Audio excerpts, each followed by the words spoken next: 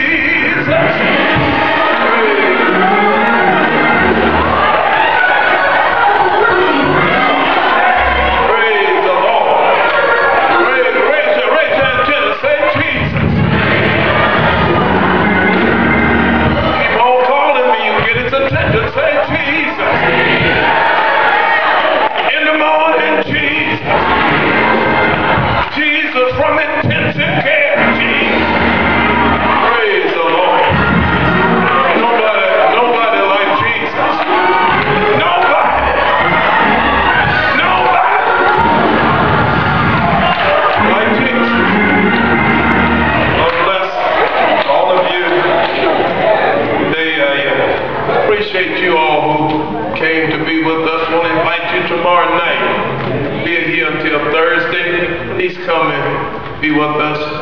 Uh, ain't too big to be.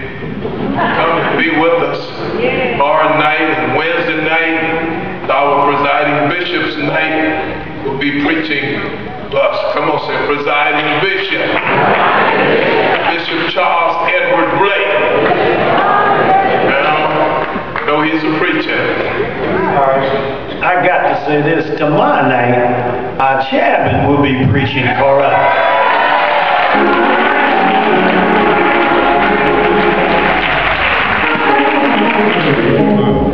I consider all of the saints everywhere, doesn't matter what the geographical location you're in or from. I, I just consider saints as part of my family.